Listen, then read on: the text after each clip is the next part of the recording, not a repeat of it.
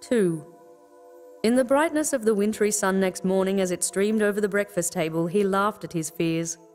There was an air of prosaic wholesomeness about the room which it had lacked on the previous night, and the dirty, shriveled little paw was pitched on the sideboard with a carelessness which betokened no great belief in its virtues.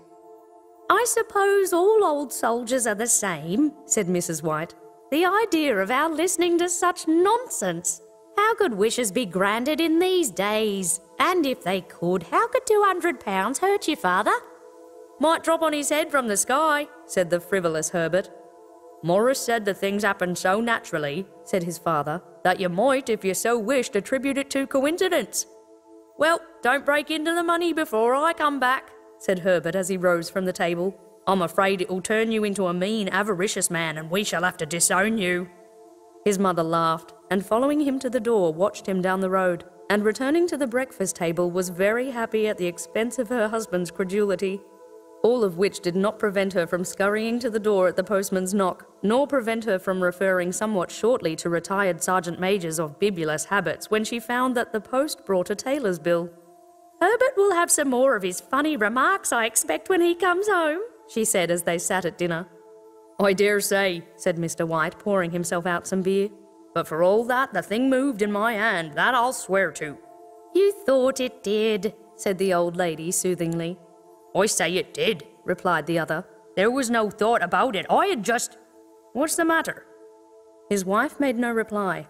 She was watching the mysterious movements of a man outside, who, peering in an undecided fashion at the house, appeared to be trying to make up his mind to enter. In mental connection with the 200 pounds, she noticed that the stranger was well dressed and wore a silk hat of glossy newness. Three times he paused at the gate and then walked on again. The fourth time he stood with his hand upon it, and then with sudden resolution flung it open and walked up the path. Mrs. White at the same moment placed her hands behind her, and hurriedly unfastening the strings of her apron, put that useful article of apparel beneath the cushion of her chair. She brought the stranger, who seemed ill at ease, into the room. He gazed at her furtively, and listened in a preoccupied fashion as the old lady apologized for the appearance of the room and her husband's coat, a garment which he usually reserved for the garden. She then waited as patiently as her sex would permit for him to broach his business, but he was at first strangely silent. I was asked to call, he said at last, and stooped and picked a piece of cotton from his trousers. I come from Maw and Meggins. The old lady started. Is anything the matter? she asked breathlessly. Has anything happened to Herbert? What is it? What is it? Her husband interposed. There, there, mother, he said hastily. Sit down and don't jump to conclusions. You've not brought bad news, I'm sure, sir. And he eyed the other wistfully. I'm sorry, began the visitor. Is he hurt? demanded the mother wildly. The visitor bowed in assent. Badly hurt, he said quietly but he is not in any pain. Oh, thank God, said the old woman, clasping her hands. Thank God for that. Thank. She broke off suddenly as the sinister meaning of the assurance dawned upon her, and she saw the awful confirmation of her fears in the other's averted face. She caught her breath, and turning to her slower witted husband, laid her trembling old hand upon his. There was a long silence. He was caught in the machinery, said the visitor at length in a low voice. Caught in the machinery, repeated Mr. White in a dazed fashion. Yes. He sat staring blankly out at the window, and taking his wife's hand between his own, pressed it as he had been wont to do in their old courting days nearly forty years before. He was the only one left to us, he said, turning gently to the visitor. It is hard. The other coughed, and rising, walked slowly to the window. The firm wished me to convey their sincere sympathy with you in your great loss, he said without looking round. I beg that you will understand I am only their servant and merely obeying orders. There was no reply. The old woman's face was white, her eyes staring, and her breath inaudible. On the husband's face was a look such as his friend the sergeant might have carried into his first action. I was to say that Maw and Meggins disclaim all responsibility, continued the other. They admit no liability at all, but in consideration of your son's services, they wish to present you with a certain sum as compensation. Mr. White dropped his wife's hand, and rising to his feet gazed with a look of horror at his visitor. His dry lips shaped the words. How much? Two hundred pounds, was the answer. Unconscious of his wife's shriek, the old man smiled faintly, put out his hands like a sightless man, and dropped, a senseless heap, to the floor. 3.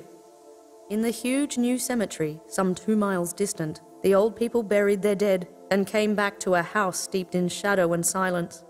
It was all over so quickly that at first they could hardly realize it, and remained in a state of expectation as though of something else to happen, something else which was to lighten this load, too heavy for old hearts to bear.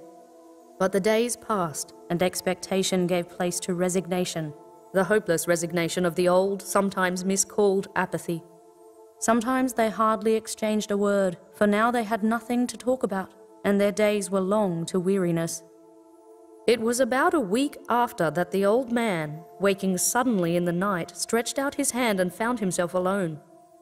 The room was in darkness, and the sound of subdued weeping came from the window. He raised himself in bed and listened. Come back, he said tenderly. You will be cold. It is colder for my son, said the old woman, and wept afresh. The sound of her sobs died away on his ears. The bed was warm, and his eyes heavy with sleep. He dozed fitfully, and then slept until a sudden wild cry from his wife awoke him with a start. The paw! She cried wildly. The monkey's paw! He started up in alarm. Where? Where is it? What's the matter? She came stumbling across the room toward him. I want it, she said quietly. You've not destroyed it. It's in the parlor on the bracket, he replied, marveling. Why? She cried and laughed together, and bending over, kissed his cheek. I only just thought of it, she said hysterically. Why didn't I think of it before? Why didn't you think of it? Think of what? he questioned. The other two wishes, she replied rapidly. We've only had one. Was not that enough? he demanded fiercely. No, she cried triumphantly. We'll have one more. Go down and get it quickly and wish our boy alive again. The man sat up in bed and flung the bedclothes from his quaking limbs. Good God, you are mad, he cried, aghast. Get it, she panted. Get it quickly and wish. Oh, my boy, my boy! Her husband struck a match and lit the candle. Get back to bed, he said unsteadily. You don't know what you are saying. We had the first wish granted, said the old woman feverishly. Why not the second? A coincidence, stammered the old man. Go and get it and wish, cried his wife, quivering with excitement. The old man turned and regarded her, and his voice shook. He has been dead ten days, and besides, he. I would not tell you else, but I could only recognize him by his clothing. If he was too terrible for you to see, then how now? Bring him back, cried the old woman and dragged him toward the door. Do you think I fear the child I have nursed? He went down in the darkness and felt his way to the parlour and then to the mantelpiece. The talisman was in its place, and a horrible fear that the unspoken wish might bring his mutilated son before him ere he could escape from the room seized upon him and he caught his breath as he found that he had lost the direction of the door. His brow cold with sweat, he felt his way round the table and groped along the wall until he found himself in the small passage with the unwholesome thing in his hand. Even his wife's face seemed changed as he entered the room. It was white and expectant, and to his fears seemed to have an unnatural look upon it. He was afraid of her. Wish, she cried in a strong voice. It is foolish and wicked, he faltered. Wish, repeated his wife. He raised his hand. I wish my son alive again. The talisman fell to the floor, and he regarded it fearfully. Then he sank trembling into a chair as the old woman with burning eyes walked to the window and raised the blind. He sat until he was chilled with the cold, glancing occasionally at the figure of the old woman peering through the window. The candle end, which had burned below the rim of the china candlestick, was throwing pulsating shadows on the ceiling and walls until, with a flicker larger than the rest, it expired. The old man, with an unspeakable sense of relief at the failure of the talisman, crept back to his bed, and a minute or two afterward the old woman came silently and apathetically beside him. Neither spoke, but lay silently listening to the ticking of the clock. A stair creaked and a squeaky mouse scurried noisily through the wall.